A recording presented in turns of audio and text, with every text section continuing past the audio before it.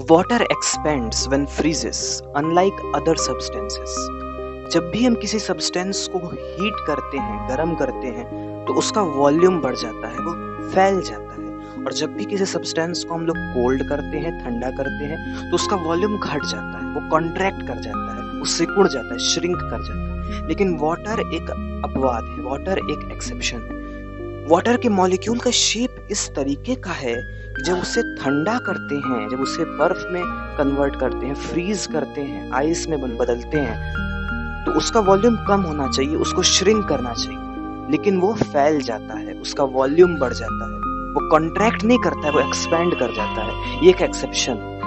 और ये क्यों है ये due to the strange shape of water molecule that's H2O ऐसा अजीब सा शेप है वाटर के मॉलिक्यूल का कि कोल्ड करने पे वो श्रिंक करने के बजाय एक्सपैंड कर जाता है just due to the strange shape of water molecule